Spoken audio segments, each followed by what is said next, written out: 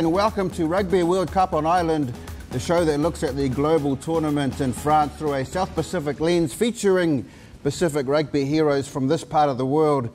And what a bunch of legends we have on the show today. Introducing, of course, my co-host, a man who, since this show has begun, has attracted a legion of fans across the globe. Manu Samoa legend Tuilagi Alesana Tuilagi. Talofa. Uh, joining us is the son of Tongan legend Malakai Alatini. His three brothers have played for Tonga while he himself was a loyal servant of New Zealand rugby, a stalwart for the Highlanders and the Hurricanes, a playing stint in Japan in a distinguished career that included 17 tests for the All Blacks. That's the electrifying Peter Alatini. Yeah. Wow, what an intro. Malolele, Thank you so much, Oscar. Pleasure, gentlemen. And a man who could accurately be described as the Rolls Royce of fullbacks. The Paekakariki Express, whose running style was sheer poetry, a star for Wellington and the Hurricanes, 60 tests for the All Blacks, and a highlight reel of stunning tries that are still required viewing for rugby heads everywhere. It's the legend, Christian Cullen. Hello, boys.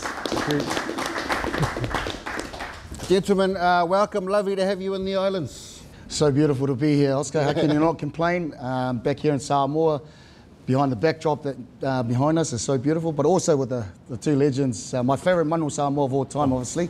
Thank you. Tuilagi, Kind. and then So kind, man. one of the best fullbacks, uh, Christian Cullen. So, yeah, Malo for having us. Coming up, we will preview two cracking semi-finals that we are in store for and a very special story of Christian visiting a village just up the road from here where his Samoan heritage is from. But first, let's review the quarter uh, final action from this weekend, starting with one of our Pacific teams that featured New Zealand up against Ireland. Uh, Tuilagi, you actually tipped the All Blacks to win this one. What a game. Yes, of course. What a cracking game, you know. I always support the, the team from, uh, from, from, the, from the south. So I'm very happy for the All Blacks uh, to win this game. Were you surprised by what happened? No, I wasn't. No, not really, because uh, I told before Ireland played a good, uh, good rugby, but All Blacks, when they play the game, they're gonna they'll win. Cully, we saw at the TAB the All Blacks were the actual underdogs. I can't remember the last time that happened. Did you have any doubts? Oh, there's always doubts, but uh, you've got a belief in them. And I think I said at the start of the tournament, the All Blacks are usually the ones that people are chasing. So I like the fact that we went to France and we were chasing Ireland, we were chasing France. So this game, hey, it could have gone either way because that's how close they are. But I think World Rugby's been waiting for a game like this, and I think France has delivered in, in the crowds and the stadiums. And that's, that quarter final was, uh, was a game where you go on the edge of your seat to the, to the 80th, 82nd minute, uh, like unreal game. Yeah, yeah. You got a feel for Ireland, uh, number one team coming in. they had not just high hopes, but they actually had belief. You could see it on their devastated uh, players after. Well, do you know what? I mean, I, I know how they feel. In 99 when we lost to France and we had that belief and uh, it's not a bad thing. It's not that oh, we shouldn't lose, but afterwards you go, man, how did that happen? Yeah. And I think Ireland was so dominant and been such a great side. You could see Sexton and some of those guys after the game. Like, I don't know, it's going to take a while to get over it for, the, for those boys. Like, seriously, it was a big blow to them. The best Ireland team ever, everyone's saying, Peter. Um, but a number of senior All Blacks really stood up. Who, who impressed you? I think, you know, Sam Cane, I think everyone's has had his doubters, and I think he really shut that down with his performance. Ardie Savea was huge again, obviously man of the match. But just the, I I think the, the, the cool thing about this group was they finally, you could see, I suppose, what they've been building towards. Again, everyone was doubting them. Everyone had, had written them off, had said that Ireland will be the team to beat. And, and, and, and you know, uh, got on them because they had performed outstandingly leading into the World Cup. But I suppose when it comes to the World Cup, and, and we know when it comes to one-off games, the team on the day, the, the decision making that we made on the field was was close to, to near, you know, a, a top performance, and, and we got the result out of it. Yeah. Uh, and now to Argentina versus Wales. Tuilagi, you also tipped this result. Um, Wales were, were leading for all of the first half, but in the end, was, was it Argentina's power game that just got them through? I think uh, you know going into this uh, in this kind of game, you have to do everything right. You know, you have to put everything there. I know Argentina with the physical game. Wales, they were come out very strong in the first half, and Argentina just just hold on to the ball and just uh, create uh, spaces, and then uh, we saw the end. They Yeah. scored a, a very uh, good try and a winning try. Peter, the, uh, Wales would have been confident, eh, going through their pool undefeated, but in a World Cup, that doesn't really mean jack, eh, sometimes. I think you just got to look at the performances, and, and leading into that game, you probably would have picked Argentina only for the fact that, I mean, Wales, only for the fact that Argentina wasn't convincing. You know, they weren't playing as, as well as we know they can play. Yeah. But again, funny thing when pressure is put on and, and it's a different stake that's that's involved, and, and then obviously the, the class coaching group of. Um, in, in Argentina, that they come up with a plan to, Michael Cheika. yeah, Cheika and uh, Kidwell. So, you know, like there's, there's no surprising. I think it's, it's it's great that we've got another Southern Hemisphere team that's Yes. that's, that's come through that we'll have to face in the next round. But um, but yeah, you never discount the Argies. Again, they've been here and they've, done it. You know, there's a bit of experience there. And, And they play tier one nations all the time now. That's They- right. Yeah, they did it used to before. So yeah. Kelly, um, at the last World Cup, Wales made the semis. They only went down by three points to the eventual champions, South Africa. What do you reckon Wales has to do to be a, to be a genuine world power like Ireland have done? Yeah, well, Gatland's obviously come back in and, uh, and changed um, some of their stuff. They just have to keep on doing what they're doing. They had a pr- pretty good World Cup. Uh, Well, they class as a success, I suppose, as getting to a semi and a final. But we all know, like, whatever rank or whatever the TAB or the betting people tell when you go into a World Cup favourites, and it doesn't matter. Like, the best teams don't necessarily win. World Cups and World Cup games, you need a bit of luck, and mm. you know whether it's a referee's call or, or something like that. But I know Argentina are a good side. They've shown the All Blacks how good they are when they beat us. So Wales, they're building. They just have to wait another four years, like uh, like Australia and some of these other teams. Four more years. Oh, my Lord. Sorry, Australia. And now to uh, Fiji's quarterfinal against England. The Flying Fijians carrying the hopes of the three island nations that this show is dedicated to. Tuilagi, you were right again. Um, Manu had another solid game, but what a comeback from Fiji, eh? But just wasn't quite enough in the end. Yeah, you know, uh, we have to show some uh, huge respect for the Fijian boys. You know, uh, they, they all make us proud for our small nations. But uh, as, as again, they show some passion of the game. They play with their hearts, play the flair for, uh, for the people and their country. But uh, that when Manu scored that's right, that's the set tone of the game. yeah. You know, as, as a mindset going into the strong team like this, all about points. Once you get that point in the first five, ten minutes, Yeah. and then you all start building from there. You can't always win by comeback, eh? Comeback, Yes, yeah. yes. You can't always string them together. I, I just think Fiji are a great side when they're when they're chasing and they're underdogs. I think when they're favourites, as we've seen, they play really really well against Wales and Australia. And then you know those two games, Portugal one of them they, they, yeah they should have won. Yeah. Like, and so in this game they're obviously the underdogs, and uh, man they got back to 24 all, and then they almost like shut shop, which I don't know. We see uh, my man here with his. Uh, hey, here we go. Let's go England. but but when they get to the semis, like they're going to face, they'll, they'll face something different because they haven't faced any of the top five teams through this World Cup. So that's going to be a, a massive uh, intensity um, uplift for them. So Yeah. We'll see. Yeah. Yeah, amazing effort from the Fijians. Second quarter final they've made, and in the professional era, um, surely there must be part of the rugby championship after 2025, which is when the current iteration expires. Yeah, well, they just, it's like probably all the island nations, they just need to play bigger games. I don't know about the grassroots stuff, but the, the top end stuff. And it's hard because a lot of the good players are playing overseas, so to get them all together and in the same rugby window as, as everybody else, it's tough. But we can see whether it's Samoa or Tonga, like when they go good, they, they're, they're good sides. And Fiji, yep, they've had a boost from being in the, um, in the Super Rugby comp, and you can see the benefits of that now. So Yeah. Tuilagi, it'd be great to see Manu Samoa. Eh? Uh, Fiji led the way, showing what's possible. It'd be great to see Manu Samoa get up there as well. It would be uh, really, uh, really good for, for the island boys to get there in the championship competition. As we see, we, we're good players. You know, we're building all the players for around the country, but why not build a team for us, for, for, the, uh, for the small nation Yeah. like us? So it would be really, really great opportunity if we had. Uh, and now to the hosts. Oh my gosh, uh, France versus South Africa. Um, Peter, what was your assessment of this game? Well, what a game. I mean, I mean, their first half, tit for tat, in terms of, you know, try a piece, going back and forth. Um, but I think it was that second half where we really saw the grind between the two teams.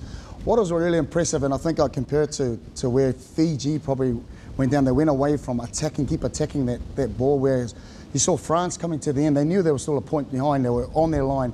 They didn't stop uh, attacking, and, and that's probably a Prowse um, and the Springboks being really clinical at that time with their defence, which managed to, to do that last little, um, you know, turnover to, to actually win the game. But at the end, the Bockies, the Springboks held tight Yeah. and got through the hosts. So Yeah. Tuilagi, this is the only one you got wrong. You Yes. picked France. What happened? Ah. What happened, do you reckon? I feel sorry for the blue team. you Yeah. know. But uh, They've been great hosts. It's such a shame they're to a see re- them really good team, out. as I said last time. But it's, it's not their day. But uh, very uh, respect South African guys. The last minute uh, when France was attacking, they were dying for that penalty, and then comes down to a discipline. You know, they were defending really well, discipline. Once that offside line, straight away penalty. But they will keep their feet on the line and they'll keep their, their defense very good. Yeah, well, what another great, awesome game. I Yeah. mean, on the edge of your seat. Yeah, I feel sorry for the uh, for France and and all the people in the stadium because man, what an atmosphere. But you know, South Africa. I think a lot of people questioned their squad when they, they came in and they they changed things up with a seven-one, and people go, man, what are they doing? But man, they know what they're doing. Handré Pollard, you know, he's just come into the squad and they win by one point, and he he kicks a goal from 50. I don't know if Faf de Klerk could have done that. So, Yeah. um, Yeah. yeah, I mean, what a call, Rassie Erasmus. He's, uh, you see him in the in the box. He's a clever man, and they've, they've done what they needed to do. But once again, like the All Blacks uh, Ireland, it could have gone, it could have gone either way. Like these are worthy of semi-final Yeah. uh, games. Like, Yeah. Oh, great stuff. Well, just four remain at the Rugby World Cup. Uh, we'll preview the semi-final soon. But first, uh, now I remember when Christian Cullen was carving up uh, the rugby world at will, and we heard a rumour that he had some Samoan heritage. We were stoked, but we weren't sure if it was true because Samoans, we think everybody's Samoan. Elvis, Bruce Lee, Muhammad Ali, but it's true. It's absolutely true. And on this trip, just up the road from where we're filming here at the beautiful Sinalei, uh, Kali got to make a special trip to his village of Siumu. Let's take a look. See our place, our land. Welcome Tristan Kale and family to your family. Perfect. Uh, probably here when I was 19, 20, I came here. So, like, man, a lot different, a lot going on, but good to be back. Good to see uh, nephew and niece here, which obviously, you know, haven't seen them for a long time. So, yeah, it's awesome. The last time I was here was 20 years ago. I know, Hi. I know you came on a coconut tree. Yeah, yeah, he That's might be- my dad told me. He might be a better climber than me. Right? the old man, he was quite big on us, you know, coming to Samoa and and seeing, you know, the great great grandparents where they're buried and where they where they rest now. so inside this house, so we all the four in there. You see the, the photos on the wall and the pictures, and there's a photo of me on the wall. Uh, gee, what was that when I was? There was like a New Zealand Sevens photo, which is 24, 25 years ago when I was 18. So uh, on the wall with a lot of the other family members. So yeah, I mean, hey, pretty special, and it's just good to see the, the lines, which I've obviously I've never really known. You know, you ask Dad and and a few aunties about it, but you don't really find out the the true uh, the depth. of it. So it's good to find a bit more about it today. Cole's only 15 now, so it's good to bring he- him here and uh, he can start to learn about it. He's got a bit of a bit of an idea, and he can go home and uh, and tell his his three other siblings, uh, you know, what he's uh, what he's done and uh, what he's learned over here, which is which is great. Got some pig over there. Yeah, Pig? yeah, Here we go. yeah. That's Samoa. They say, you know, whenever you come here now, this is this is your home as well, which is, you know, it, just- it sort of blows you away. So it's um, yeah, I mean, I look forward to coming back with with the rest of the kids and the, and the wife, and and then you just know that you're going to feel welcomed, you know. You know what, Oscar? Yeah. Now I believe. Yeah. He's Samoan. You know, when, when, when, when, when I heard the rumors, you know, as Islanders, Yeah. when I was young I watched uh, Triple H. Yeah. And they say Triple H is Samoan as well. the wrestler. the wrestler, yeah. So now I believe the great Christian Garland is a true Samoan. nice. and uh, that was a touching moment, uh, Christian. Now you have to come and do a Matai title. Oh, It's not, it's not that, that expensive. It's only 10,000 times. Next year. next year. Next year. All right, it's uh, preview time. Two amazing semi-finals to come. Let's start with England and South Africa. Uh, oh my gosh, Tuilagi, your family will be represented. Uh, how is Manu feeling? Well, it's going to be a tough game for England. You know, uh, number two in the world, South African. We saw how they play. They go right to the edge of the game, right to the last minute.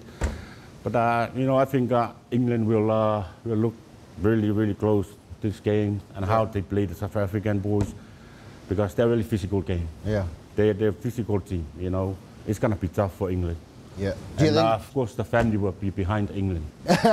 they'll be behind England? But what does your rugby head say? I'll say England. Oh, family first, All right, family all first. right, all right, Peter. Uh, look, I think the way I've seen England play, uh, I think the, the two different teams, different intensities. I think South Africa will probably go in as favourites, but we've seen what happens to favourites in this competition. So, but I just think they're a bit more clinical. I think they've they've got a little bit more across the park in terms of uh, game breakers compared to to England. Look, England's controlled their game against Fiji for 60 minutes and they look really good.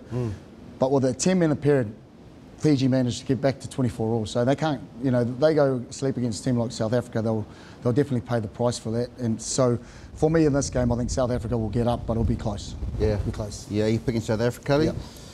Yeah, I mean, I, it's just a really hard to, one to pick. It's, it's hard to know what's what's best when you're going into these big games. Is it best to be like England, where they've had some some easier games against tier two nations, or is it best to go in like South Africa that are battle hardened and have had a number of tough games through the comp? Uh, but I mean, my if I was uh, going to put money on it, I'm sorry, bro. Come on, guys. Come on. yeah, yeah, but I mean, I'd, I'd pick South Africa after watching them. Like, I mean, I just, yeah, but once again, semi-finals, whether you're a favourite or, or the underdog, I think they can go either way. Yeah, yeah. Uh, have you rung Manu yet? What's the uh, What's the feeling in the camp? Any inside knowledge you can give us? Uh, I haven't spoke to him yet. You know, I'll just let him have that moment after this big game. You know, uh, maybe later on, I'll, Yeah. I'll uh, give him a call and see if he's okay. Yeah. And uh, But it's great too because a little piece of Samoa will be playing in the game, even if it's for England. oh wow, you know, Fiji's out now, so they're all going to go for one Samoa Yeah, against the whole of the, of the south. You know. Yeah. But uh, Nice you know, like uh, Cullen say, anything could happen. Yeah. In this kind of games, you know, uh, it's a semi-final. You have to put everything there. Yeah. Yeah. Well, there's no tomorrow. eh? Like you know, the boys will be be fizzing to be in a semi-final. I think that's that's a that's the first part. You embrace what's coming to you in a semi. Like a one step away from a final, so you you know you can't look too far. But that's how close you are. So I think all the players uh, will be stoked to be in the position they are. Um, and Manu, man, he makes a huge difference when he gets the ball in hand. Like he was, the try gotta he scored. him more, right? You've got to give him the ball more. Yeah, I, I felt that. Like the, the first hit he made up, he got them straight over the line, quick ball, they're around the corner, and then his try, he came from the open back to the blind, one on one with Manu. Come on, but that's kind of, I suppose, where England's got to be sharp because we know that South Africa come in in drones. It's just not one tackler. There's two or three of them, and they're really challenged that collision area. Um, so, so that's where England's just got to be smart. The kicking strategy will have to be smart, and then points on offer, I suppose, as we've seen. Um, that could be the telling of the game if, if they don't know. You sense it won't be as high scoring as the quarterfinals were, eh? Well, I didn't think they. I thought that both teams would shut, you know, like Ireland, New Zealand, but I mean, tries, well, five tries, they're all scored by Kiwis, Yeah. even the Irish tries. but, but I mean, I reckon that's good because they're, they're such good attacking sides, and even how good defensively they are, it just shows you how good the attack is. Because both, I mean, even in the other, this, this game, like, we were coming over on the van here and you were going 7 0. 7 all, 14 7, 14 all. I was like, far out, that's uh, awesome. It's good, to, Yeah. it's good that teams are still throwing and scoring tries, even though defensively they're really good.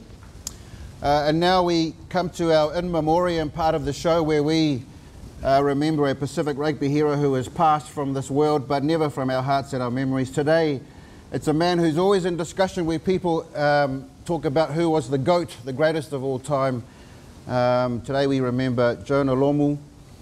Uh, Tuilagi, there was a lot about you know, when you came along, everyone was like, "Yeah, Samoa's got its Jonah too." He must have, uh, he must have inspired you as well as a player. Uh, I watch every game. Yeah. I watch every uh, little every games of uh, Jonah Lomu because the guy that changed the face of the rugby is the icon of the game now. Yeah. And uh, you know, such a big man, fast and good fit. You know, I aspire him all my career. Yeah, awesome. Peter, I mean, amazing to have you and Kali on the show when we talk about Jonah because you, you played in the same back lines. Memories of the big men? Absolutely. Look, we grew up.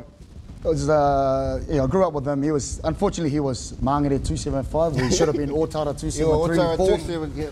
But we grew up and being Methodists, we always see each other at church. But then the beauty of, uh, beautiful thing about sport is how you come together. And me, Cully, and, and, and Jonah were fortunate enough to play schoolboys, New Zealand schoolboys together. Amazing. Um, and then obviously again to be to be able to play All Blacks with the brother. Um, look, he's unique. He, he took our game from what it was to to a level of um, stardom as such. You know, the first superstar in the game, but yet so humble and, and always. You know, when, when he got a quiet time with Jonah, besides him playing his music and got lollies everywhere and McDonald's and whatever. he was just such a such a you know gentle giant and always wanted to have that moment with his boys and just chill and and um, and you know that was the hardest thing for him probably to deal with because he became so famous that everyone wanted a piece of him. But we you know every day goes by we still miss the brother, especially when it comes to World Cups and we see his highlights still bumping off everyone left, right, and centre. But Yeah. yeah, I look our, our memories with him and obviously his uh, mum Hepi and his family and everyone. And, mm. Kali? Oh, I- special. Like I honestly say, I don't think there will ever be another guy like Jonah, like on the rugby field. Like, I mean, and I was pretty lucky. I wasn't lucky in '96 when he was playing for the Blues and we were with the Hurricanes, but I played against Jonah twice, and one was at schoolboy stuff, and the other one was uh, with the Hurricanes with the Blues, and then. Then he decided to come to Wellington. I was like, my man. so then I got to play with him, and I always say I had the best seat in the house you know, I had, I had boys in front of me like Allah, but we had Jonah, we had Tana, we had Alama, and I was fullback, so best seat in the house. And you knew Jonah, I mean, I scored a lot of tries off the back of Jonah, and you knew when he'd get the ball, he would bang three, four, five players, and you just had to run a nice little line. So, um, yeah, I mean, I'm, I'm incredibly um, happy and proud that I got to play, I play with him, because yeah, I honestly say there'll be, I don't think there will ever be another guy like him. A proud son of Tonga and South Auckland, he had a huge impact on the game, uh, especially just as the game was turning professional. Played for counties Manukau, the Blues, the Chiefs, and the Hurricanes. Also had stints in Wales and France. Played 73 tests for the All Blacks, scoring 43 tries. Each one was awesome. Uh, had his own PlayStation game, his own burger at McDonald's, the first rugby player to rock headphones as part of his pre-game ritual. Now they all do it. Uh, and as Peter said, the first true global superstar of the game for our in memoriam this week, we remember the GOAT, Jonah Lomu. Danger here. Cullen flips onto Lomu. Lomu steps outside. Cuts inside. He's still not down. He's over. And Lomu. Oh, I don't believe that. There must have been six Frenchmen trying to drag him down.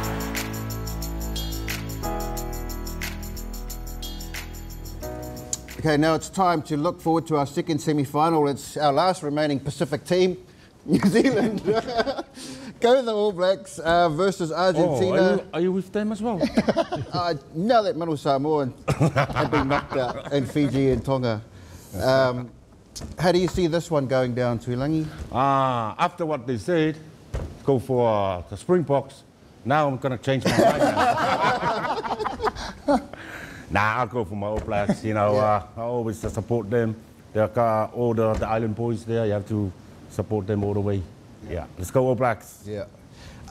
Argentina, the only team in the final four to have not won the tournament, but like you were saying with World Cups, right? Yeah. Um, it doesn't matter. Yeah, I, I don't. The All Blacks won't take the foot off the throat uh, this week. They'll prepare because they know if they don't and they don't get things right, that this team can beat them because they've done it before.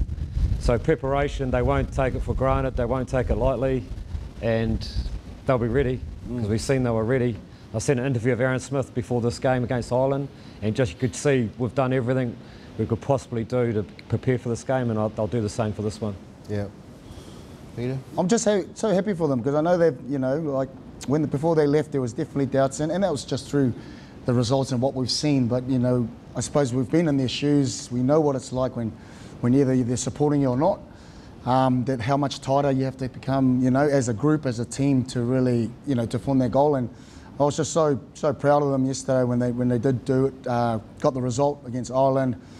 Um, to see, you know, guys like Aaron Smith, the guys that have put in the yards and times, Whitelock, and you know the boys that have, have been there year in year out and have gone through the up and downs That of the last year. experience really counted, eh? Absolutely. And that, yeah. Those- Sammy Whitelock coming on, getting the 151? turnover. Yeah. Yeah, unreal. So yeah, so those those things all count for, for the boys going through, and yeah, like I, I agree with Cully, they won't take the foot off knowing what Argentina can do, but Yeah. but I I reckon we've got a new kind of create new confidence going into this game that we can you know really add on on the performance we've done. I was always a Fozzie fan, um, and so Same. all these people that doubted him must be feeling stink about They must now. feel stink. Hey, those guys.